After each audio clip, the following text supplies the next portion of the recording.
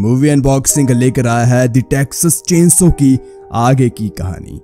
यहाँ पर हमें एक घर दिखाया जाता है। यहाँ पर एक फैमिली रहती है। इस फैमिली में ग्रैंडपा मदर और उसके तीन बेटे होते हैं। सबसे छोटे वाले बेटे का आज जन्मदिन होता है। उसका नाम जेड था। इसके लिए केक लाया जाता है। इसके बाद हमें यहाँ पर एक आदमी दिखाया जाता है। जिसे इस फैमिली ने बाँध कर रखा था। उनका ये कहना था कि ये आदमी यहाँ पर चोरी करने आया है। इसके बाद सभी लोग अपने बेटे को एक चेंसो गिफ्ट में देते हैं और अपने छोटे बेटे को कहते हैं कि तुम इस चेंसो की मदद से इस आदमी को मार गिराओ। दूसरा भाई चेंसो को चालू कर देता है और जेड को पकड़ा देता है। लेकिन जेड एक मासूम बच्चा था। वह उस आदमी का कत्ल नहीं कर पाता और चेंसो नीचे फेंक देता है। तभी उसकी माँ उसे कहती है कि क्या तुम इतना छोटा काम भी नहीं कर सकते? अपने दादाजी से कुछ सीखो। तुम्हारे दादाजी कितने अच्छे सीनियर किलर है। इसके बाद उसके दादाजी एक हथौड़ा लेते हैं और उस आदमी के सर पर ज़ोर से मारते हैं। वहीं पर उसकी मौत हो जाती है। इसके बाद हम एक कपल को देखते हैं, जो अपनी गाड़ी से कहीं जा रहे होते हैं, लेकिन तभी वह देखते हैं कि रास्ते में एक जानवर उनके सामने आ जाता है। वो जैसे तैसे गाड़ी को संभालते हैं। फिर वह गाड़ी से नीचे उतर कर देखते हैं, उससे जानवर को कोई चोट तो नहीं लगी थी, लेकिन असल में वह कोई जानवर नहीं, एक छोटा बच्चा था, जिसने एक जानवर का चेहरा पहना हुआ था। वह छोटा सा बच्चा इनसे मदद माँगता है और भागकर जंगल की ओर चला जाता है। लड़की अपने हस्बैंड को कहती है, मुझे सब बच्चे की मदद करनी है। उसका पति उसे बहुत मना करता है, लेकिन फिर भी वह उस बच्चे के पीछे चली ही जाती है। वह छोटा सा बच्चा भागकर एक पुराने से घर में चला जाता है और लड़की भी उसके पीछे पीछे चली जाती है। घर के अंदर चारों तरफ़ हड्डियाँ ही हड्डियाँ थी। फिर वह लड़की एक जाल में फंस जाती है और नीचे गिर जाती है, जिस कारण वह काफ़ी बुरी तरह घायल भी हो जाती है। अभी वह छोटा सा बच्चा अपना मास्क उतारता है। अब हमें पता चलता है कि यह बच्चा कोई और नहीं, बल्कि जेड है। उसकी माँ ने इसको एक सीरियल किलर आदमी के पास छोड़ दिया, ताकि ये भी कत्ल करना सीख सके। इसके बाद वे आदमी जेड को कहता है, इस लड़की के ऊपर तुम कार, इंजन गिरा दो। वह बच्चा ऐसा ही करता है, जिस कारण उस लड़की की दर्दनाक मौत हो जाती है। कुछ समय बाद यहाँ पर एक पुलिस ऑफिसर आ जाता है, जिसका नाम शेरिफ होता है। असल में जिस लड़की का कत्ल हुआ था वह इसकी बेटी थी, जिस कारण वह काफ़ी गुस्से में था। लेकिन वहाँ पर उन लोगों ने कोई भी सबूत नहीं छोड़ा उस लड़की के बारे में। इसके बाद पुलिस ऑफिसर बच्चे को अपने साथ ले जाता है पूछताछ करने के लिए। वहाँ पर जेड की माँ भी आ जाती है। फिर वह पुलिस ऑफिसर कहता है, मैं तुम्हारे बच्चे को तुम्हें कभी वापस नहीं करूँगा, क्योंकि तुम अच्छे लोग नहीं हो। इसके बाद पुलिस ऑफिसर जेड को एक मेंटल हॉस्पिटल में भर्ती करवा देते हैं। इसके बाद हमें 10 साल आगे का सीन दिखाया जाता है और वही हॉस्पिटल दिखाया जाता है जहाँ पर जेड को दाखिल कराया गया था। जहाँ पर एक लीजी नाम की नर्स दिखाई जाती है, जिसका आज हॉस्पिटल में पहला ही दिन था। उसे डॉक्टर कहता है, यहाँ पर जितने भी बच्चे आते हैं, हम पहले तो उनका नाम बदल लेते हैं, ताकि उन्हें अपनी पुरानी ज़िंदगी के बारे में कुछ पता न रहे। वह एक अच्छे इंसान बनकर ही बाहर निकले। इसके बाद हमें मोटा सा लड़का दिखाया जाता है। लीजी उसके पास जाती है उसे बात करती है। लेकिन वे आगे से कुछ नहीं बोलता। तभी दूसरा लड़का कहता है, ये किसी से बात नहीं करता, बस चुपचाप रहता है। तभी वह दो लड़के आपस में लड़ाई करना शुरू कर देते हैं और वह नर्स उन दोनों को छुड़ा देती है। तभी एक लड़का नर्स से ही गुस्से से बात करने लगता है।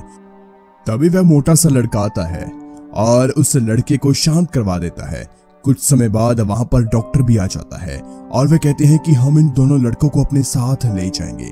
तभी नर्स कहती है कि मोटे लड़के की कोई गलती नहीं है, वह सिर्फ़ मेरी मदद कर रहा था। तभी डॉक्टर कहता है, वह बहुत खतरनाक बच्चा है, इसने अपने ही माता पिता का कत्ल किया है। आगे से कोई भी लड़का शरारत करे या लड़ाई करे, आप हमें बताना।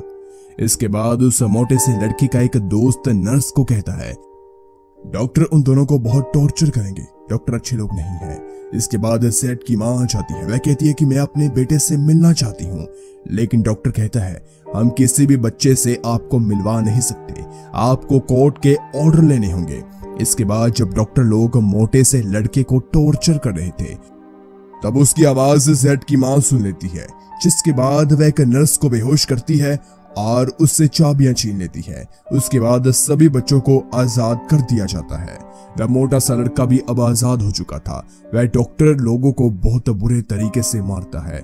फिर वह सीनियर डॉक्टर को भी मारता है। इसके बाद उस डॉक्टर की मौत हो जाती है। इसके बाद जब नर्स को इसके बारे में पता चलता है, तब वह दूसरी नर्स को साथ लेकर नीचे बेसमेंट में चली जाती है। लेकिन वहाँ पर एक आदमी दूसरी नर्स का कत्ल कर देता है। वह लीजी को भी मारने लगता है, लेकिन वहाँ पर उस मोटे से लड़के का दोस्त आ जाता है और उस नर्स को बचा लेता है। वह दोनों वहाँ से भाग जाते हैं। इसके बाद उन्हें बाहर दो और लोग मिलते हैं। वह उनकी गाड़ी में बैठ जाते हैं। फिर बाद में बाहर मोटा सा लड़का भी उन्हें मिल जाता है। वह भी उनकी गाड़ी के अंदर बैठ जाता है। अब इन सभी पागलों में वह बेचारी नर्स अकेली फंस चुकी थी। ये सारी बात उस पुलिस ऑफिसर को भी पता चल जाती है। फिर वह सभी भागे हुए बच्चों को पकड़ने के लिए पूरी फोर्स से लगा देता है। इसके बाद वही पागल बच्चे एक रेस्टोरेंट में चले जाते हैं। वहाँ पर लोगों से गन छीनते हैं, उन्हें शूट कर देते हैं। इसके बाद वहाँ से वे आगे बढ़ जाते हैं, लेकिन वहाँ पर मोटे से लड़के को गोली लग गई थी। इसके बाद वह बहुत दूर जाकर एक पुरानी वैन के पास रुक जाते हैं। इस वैन के अंदर एक लाश पड़ी हुई थी। लेकिन उनके पास दूसरा चारा भी नहीं था, इसीलिए वे आज रात यहीं पर रुक जाते हैं।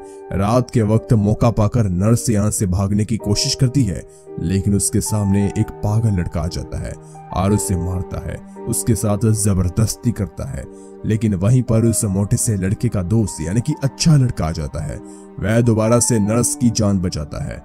मोटे लड़के को ये सब देखकर अच्छा नहीं लगता। इसलिए वह उस बुरे लड़के का सिर फोड़ देता है, उसे मार देता है। इसके बाद अब सिर्फ़ चार लोग ही बचे थे। मोटा लड़का, उसका अच्छा दोस्त, नर्स और एक पागल लड़की।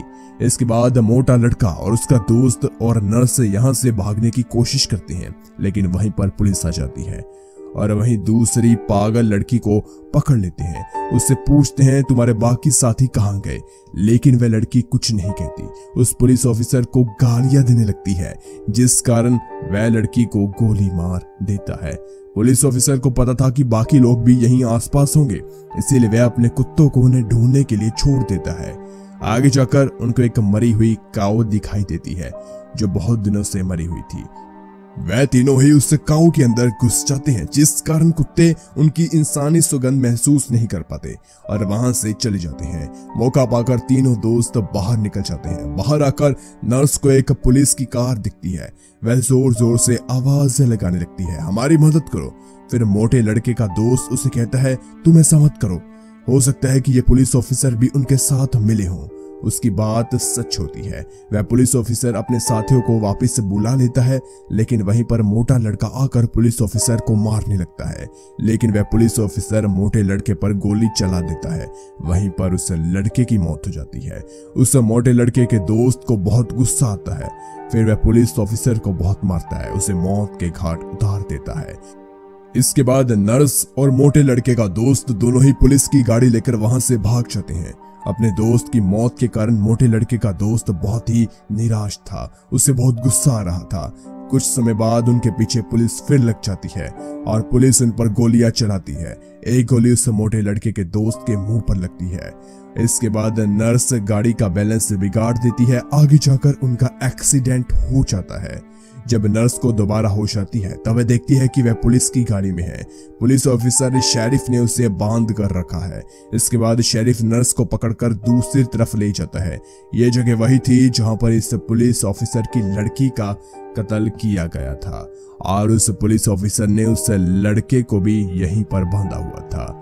यहाँ पर हमें पता चलता है कि ये लड़का कोई और नहीं, बल्कि जेड ही था।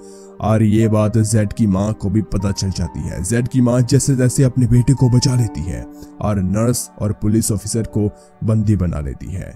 फिर वह वही चांस अपने बेटे जेड को देती है। उसे कहती है, तुम इन लोगों से बदला लो। जेड चेन से उठाता है और उस पुलिस ऑफिसर को मार देता है। वह नर्स वहाँ से भागकर जंगल की तरफ़ चली जाती है। उसके पीछे पीछे जेड भी चला जाता है। रास्ते में नर्स का पैर एक ट्रैप में फंस जाता है और वहीं पर वह गिर जाती है। जेड नर्स को मारने ही वाला था, तभी नर्स कहती है, तुम अच्छे इंसान हो, तुम ऐसा नहीं कर सकते। लेकिन जेड अब बुरी तरह से पागल हो चुका था। फिर नर्स का सिर वो अलग कर देता है उसके धड़ से। फिर जेड उस नर्स के चेहरे का मांस उतारता है और अपने लिए एक लेदर फेस तैयार कर देता है। इसी तरह पार्ट वन यहीं पर खत्म हो जाता है। मूवी अनबॉक्सिंग बताने वाला है कहानी द टेक्सास चेंसो के अगले पार्ट की। कहानी की शुरुआत में हमें पाँच लोग दिखाए जाते हैं जो कहीं पर शो पर जा रहे थे। उनमें से एक लड़की का नाम एरिन होता है और बाकी उसके दोस्त होते हैं तभी उन्हें रास्ते में एक लड़की पैदल चलती हुई दिखाई देती है। वह उस लड़की की मदद करने के लिए गाड़ी रोक देते हैं। एरिन गाड़ी से बाहर निकलती है और उस लड़की से पूछती है, आप कहाँ जा रही हो? लेकिन वह लड़की कुछ नहीं कहती और चलती रहती है। फिर वह किसी तरह से उस लड़की को अपनी गाड़ी में बिठा लेते हैं। वह लड़की सबको यही कह रही थी, वह बहुत बुरा इंसान है, वह सबको मार देगा। फिर उनकी गाड़ी टेक्सास के अंदर आ जाती है। तब वह लड़की कहती है, आप गलत रास्ते पर जा रही हो। यहाँ पर जाना मौत के मुँह में जाने के बराबर है। जिस कारण वह लड़की गाड़ी को रोकने की बहुत कोशिश करती है, लेकिन कार ड्राइवर गाड़ी को जैसे तैसे संभाल लेता है और गाड़ी रोक देता है। वह लड़की सभी को यही कह रही थी कि आप गलत रास्ते पर जा रहे हो। आप में से कोई भी ज़िंदा नहीं बचेगा। ये कहकर लड़की अपने मुँह के अंदर गन डालती है और अपने आप को शूट कर लेती है। ये देखकर गाड़ी के अंदर बैठे सभी लोग दंग रह जाते हैं और डर जाते हैं। उन्हें अब समझ नहीं आ रही थी कि वह उस लड़की को यहीं छोड़ दें या पुलिस में कंप्लेंट करें। बहुत देर सोचने के बाद वह इस नतीजे पर पहुँचते हैं कि हमें पुलिस को सूचना देनी ही चाहिए। पुलिस हमारी मदद ज़रूर करेगी। लेकिन उन्हें यह पता नहीं था कि ऐसा करना उन पर ही भारी पड़ सकता है। फिर वह एक गैस स्टेशन पर जाते हैं। वहाँ उन्हें एक लेडी मिलती है। वह उस लेडी को सारी बातें बताते हैं। तब लेडी पुलिस को फ़ोन करती है और वह कहती है कि पुलिस वाले तुम्हें एक फैक्ट्री के अंदर मिलेंगे। तुम्हें वहाँ पर जाना होगा। सभी लोग सोचते हैं कि पुलिस फैक्ट्री में क्या काम करेगी, लेकिन उनके पास और कोई दूसरा रास्ता भी नहीं होता। इसीलिए वह उस फैक्ट्री के अंदर चले जाते हैं, लेकिन उस फैक्ट्री के अंदर उन्हें कोई भी दिखाई नहीं देता। वहाँ पर उन्हें एक छोटा सा बच्चा छुपा हुआ मिलता है। वह उन्हें कहता है कि आपको पुलिस वाला यहाँ नहीं मिलेगा। आपको पुलिस वाला अपने घर पर ही मिलेगा। इसलिए वह बच्चा उनको उस पुलिस वाले के घर का पता बता देता है। फिर एरिस और उसके साथ उसके दोस्त उस पुलिस वाले के घर पहुँच जाते हैं। लेकिन वहाँ पर उन्हें एक बुज़ुर्ग आदमी दिखाई देता है। वह बुज़ुर्ग आदमी एरिस को कहता है तुम मेरे साथ घर के अंदर आ जाओ, लेकिन ये लड़का बाहर ही खड़ा रहेगा। एरिस घर के अंदर चली जाती है। वह बुज़ुर्ग आदमी कहता है वह पुलिस वाला अभी तो यहाँ पर नहीं है, लेकिन मैं उसे कॉल करता हूँ, उससे पूछता हूँ। एरिस को घर के अंदर गए काफ़ी वक्त हो चुका था, इसलिए उसका दोस्त घर के अंदर एरिस को ढूँढने के लिए चला जाता है, लेकिन तभी वहाँ पर एक खतरनाक आदमी हमें दिखाते हैं, जिसका नाम लेदर फेस होता है। लेदर फेस आता है और उस लड़के के ऊपर जोरदार हमला कर देता है, वहीं पर उसे मौत के घाट उतार देता है। उसके बाद एरिस घर से बाहर आती है उससे वह लड़का नहीं मिलता। वह सोचते हैं कि शायद वह वापस उसी फैक्ट्री में चला गया होगा। क्योंकि पुलिस वाला फ़ोन पर कह रहा था कि अभी मुझे एक आधा घंटा लग जाएगा, इसलिए एरिस फैक्ट्री में चली जाती है। फैक्ट्री में जाकर एरिस अपने दोस्तों से पूछती है कि वह लड़का वापस क्यों आ गया, जो मेरे साथ घर में गया था। तब उसके दोस्त कहते हैं, यहाँ पर तो कोई वापस नहीं आया, जिस कारण उन्हें उस लड़के की चिंता होनी शुरू हो जाती है। इसीलिए वे फैक्ट्री के इधर उधर उस लड़के को ढूंढना शुरू कर देते हैं। तभी उन्हें एक गाड़ी के अंदर एक तस्वीर मिलती है। उस तस्वीर में वही लड़की थी जो मूवी के स्टार्टिंग में अपने आप को गोली मार लेती है। इसीलिए वह सोचते हैं कि शायद उसी घर में हमारा दोस्त चला गया होगा। इसीलिए एरिस अपने एक दोस्त के साथ उसी घर में दोबारा चली जाती है। लेकिन तभी बूढ़ा आदमी घर के बाहर ही बैठा होता है। एडिस चलाकी से उस बुज़ुर्ग आदमी को अपनी बातों में लगा लेती है और पीछे से उसका दोस्त घर के अंदर चला जाता है। उसका दोस्त एक ऐसे कमरे में पहुँच जाता है, जहाँ पर चारों तरफ़ बस मांस के टुकड़े ही टुकड़े थे। वहाँ पर ये सब कुछ देखकर वह डर जाता है। गलती से उसके हाथ से कोई सामान नीचे गिर जाता है। जिसकी वजह से बुज़ुर्ग आदमी और एरिस घर के अंदर चले जाते हैं। वह बुज़ुर्ग आदमी दोनों को देखकर बहुत गुस्सा होता है और ऊँची आवाज़ में पुकारता है, बाहर आ जाओ, इन दोनों को खत्म कर दो। उसी वक्त वहाँ पर लेदर फेस आ जाता है। उसके हाथ में चेंस होती किसी तरह से एरिस तो उसे घर से भाग निकलती है, लेकिन उसका दोस्त वहीं पर फंस जाता है। वह लेदर फेस उसका पाँव काट देता है। इसके बाद लेदर फेस लड़के को एक कमरे के अंदर ले जाता है। वहाँ पर उसे एक कील के साथ ऊपर टांग देता है और उसके कटे हुए पैर पर नमक लगाता है। तब हम देखते हैं कि जो लड़का पहले इस घर में आया था, उसका चेहरा लेदर फेस उतार चुका था और उसके चेहरे को मशीन के द्वारा सिलाई कर अपने लिए एक नया लेदर फेस बनाता है। तभी हम लेदर फेस को देखते हैं, जो अपना मास्क उतारता है। उसका चेहरा बहुत ही ज़्यादा भयानक था। इसके बाद एरिस वापस फैक्ट्री में आ जाती है। अपने दोस्त को वहाँ से निकालने की कोशिश करती है, लेकिन तभी उनकी गाड़ी स्टार्ट नहीं होती। उसी वक्त वहाँ पर पुलिस वाला भी आ जाता है। पुलिस वाले को देखकर सभी लोग थोड़ा रिलैक्स फील करते हैं, लेकिन पुलिस वाला उनकी गाड़ी में ट्रक्स दिखता है। ट्रक्स देखकर वह काफ़ी ज़्यादा गुस्से में आता है और उन्हें गाड़ी से बाहर निकाल लेते हैं और ज़मीन पर लिटा देता है। बाद में वह एक लड़के मॉर्गन को उठाता है और गाड़ी के अंदर बैठा देता है। तब वह मॉर्गन से पूछता है, मुझे बताओ कि उस लड़की ने किस तरह से आत्महत्या की? तभी पुलिस ऑफिसर उसे गन देता है और मॉर्गन को कहता है, मुझे बताओ उस लड़की ने किस तरह से आत्महत्या की? मॉर्गन को पुलिस ऑफिसर कहता है, तुम अपने मुँह में उसी तरह गन को डालो और ट्रिगर को दबा दो। मॉर्गन बहुत ज़्यादा डर जाता है। वह गन को उस पुलिस ऑफिसर पर तान देता है। ट्रिगर भी दबा देता है, लेकिन गन में गोली ही नहीं होती। इसके बाद पुलिस ऑफिसर मॉर्गन को अपने साथ गाड़ी में बैठाता है और लेदर फेस के घर छोड़ देता है। तभी एरिस और उसके साथ उसकी दोस्त वहाँ से भागने की कोशिश करती है। वह जैसे तैसे गाड़ी को स्टार्ट तो कर लेते हैं, लेकिन गाड़ी आगे जाकर किसी चीज़ से टकरा जाती है और उसका एक टायर बाहर निकल जाता है। लेकिन उसी वक्त वहाँ पर लेदर फेस आ जाता है और चेन सो चलाने की कोशिश करता है। एलिस की दोस्त को लेदर फेस बाहर निकाल देता है और उसे बीचों बीच काट देता है। एरिस ये सब गाड़ी में बैठकर देख रही होती है। वह उसे कहती है कि तुम ऐसा मत करो, लेकिन लेदर फेस किसी की बात नहीं सुनता। लेदर फेस ने एरिस के एक दोस्त का चेहरा उतार कर अपने मुँह पर डाल रखा था। ये देखकर एरिस बहुत डर जाती है और गाड़ी से बाहर निकलकर जंगल की ओर भागने लगती है, लेकिन लेदर फेस उसका पीछा नहीं छोड़ता और जंगल की तरफ़ भागता है। फिर एरिस किसी तरह से भागकर एक वैन की ओर जाती है। उस वैन के अंदर दो महिलाएँ थी, जो माँ बेटी थी। एरिस उस गाड़ी के अंदर जाती है और दोनों को सारी बात बताती है, लेकिन तभी वह महिला एरिस को कहती है लेदर फेस दिल का बुरा नहीं है, बस उसका चेहरा बहुत खराब है। जिस कारण वह लोगों का चेहरा उखाड़ कर अपने मुँह पर चढ़ा लेता है वह किसी को ज़्यादा नुकसान नहीं पहुंचाता। और वह महिलाएँ एरिस को चाय पिलाती है। उन महिलाओं के पास एक बच्चा भी था, लेकिन तभी एरिस को एक तस्वीर मिलती है। उस तस्वीर में वही लड़की थी जो लड़की उनकी गाड़ी के सामने आ गई थी। उस तस्वीर में वही बच्ची थी जो बच्ची उस महिला के पास थी। एरिस समझ जाती है कि वह गलत लोगों के पास फंस गई है। इसीलिए वह वहाँ से भागने की कोशिश करती है। लेकिन तभी वह ज़मीन पर गिर जाती है, क्योंकि उन महिलाओं ने उनकी चाय के अंदर कुछ मिला दिया था। अब हमें यह पता चलता है कि ये सभी लेदर फेस के साथ हम मिले हुए हैं। जब एरिस को होश आती है, तब हम देखते हैं कि उसके चारों तरफ़ लोग होते हैं। वही महिलाएँ, वही बुज़ुर्ग आदमी भी उसके साथ होते हैं। तब हमें पता चलता है कि ये सभी लोग लेदर फेस की फैमिली हैं। लेदर फेस की माँ एरिस को बताती है, मेरे बेटी के अंदर एक बीमारी है। जिसके कारण उसका चेहरा बिगड़ गया और मेरे बेटे को कोई भी पसंद नहीं करता था। इस कारण इस जगह पर हम अकेले रहते हैं। तभी वहाँ पर लेदर फेस आ जाता है। एलिस को उठाकर नीचे बेसमेंट में फेंक देता है। बेसमेंट में सारी चीज़ें अजीब से अजीब पड़ी हुई है। उसका दोस्त भी वहाँ पर होता है। जो एक चेन के साथ टंगा हुआ था और दर्द के कारण रो रहा था। एरिस उसे वहाँ से आज़ाद कराने की कोशिश करती है, लेकिन उसकी तकलीफ़ और ज़्यादा बढ़ रही थी। तभी उसका दोस्त एरिस को कहता है, मुझे तो मार दो। इतना दर्द मैं बर्दाश्त नहीं कर सकता। इसलिए एरिस अपने दोस्त को मार देती है, लेकिन तभी एरिस को अपना दोस्त मॉर्गन भी दिखाई देता है। मॉर्गन एक टब में बैठा होता है, उसके पीठ पर भी वही निशान बना हुआ था। ऐसा लग रहा था कि उसे भी हुक के साथ टंगा गया है।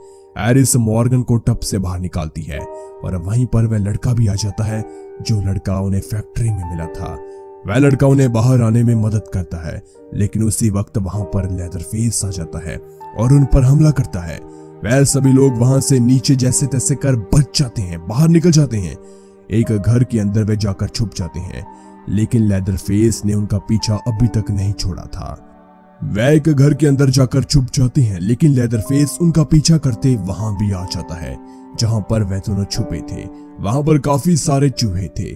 चूहे उनको काफ़ी तंग कर रहे थे। तभी एरिस को लगता है कि लेदर फेस वहाँ से चला गया, लेकिन वह गलत थी। लेदर फेस एरिस के पीछे आता है और उसे पकड़ लेता है। लेदर फेस एरिस को मारने की कोशिश करता है। लेकिन तभी वहाँ पर मॉर्गन आ जाता है और एरिस को बचा लेता है। लेकिन तभी लेदर फेस मॉर्गन को एक चेन के साथ ऊपर टांग देता है, उसे मार देता है। तभी एरिस वहाँ से भाग जाती है। आगे जाकर उन्हें कुछ तार दिखाई देती है। एरिस तो उसे आसानी से पार कर लेती है, लेकिन लेदर फेस का पैर उन तारों में फंस जाता है, वह नीचे गिर जाता है, लेकिन तभी उसकी चेन सो उसके पैर पर ही चल जाती है और वह घायल हो जाता है। तभी एरिस रोड पर पहुँचती है, वहाँ पर एक गाड़ी आती उसे दिखाई देती है, लेकिन वह गाड़ी उसकी मदद नहीं करती, आगे निकल जाती है। एरिस फिर अपनी जान बचाने के लिए एक सुनसान फैक्ट्री के अंदर चली जाती है, लेकिन लेदर फेस भी उसी फैक्ट्री के अंदर पहुँच जाता है। एरिस के पीछे पड़ जाता है। लेकिन तभी एरिस के हाथ एक बहुत बड़ा चाकू लग जाता है।